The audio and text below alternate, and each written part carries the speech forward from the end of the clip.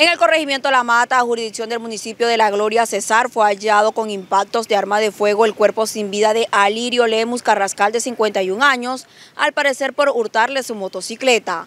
La víctima era oriunda de Barranca Bermeja, norte de Santander. Según la información preliminar, Alirio Lemus Carrascal había salido sobre las 10 de la noche del viernes 15 de septiembre de Barranca Bermeja a bordo de su motocicleta a buscar a un familiar a un municipio del sur del Cesar. Se conoció además que el hombre de 51 años, en su paso por Aguachica, llamó a uno de sus hijos y le narró que su viaje transcurría con total normalidad. Una vez no se supo más del paradero de Alirio, la familia emprendió una búsqueda hallando el cuerpo sin vida en inmediaciones al corregimiento La Mata en el municipio de La Gloria Cesar. Asimismo, se conoció que la motocicleta de placas XTZ125 no fue encontrada en el lugar, por lo que presuntamente el hombre fue asesinado para hurtarle el vehículo. Sus despojos mortales fueron trasladados en la noche del domingo a Barranca Bermeja y su sepelio será este lunes en horas de la tarde.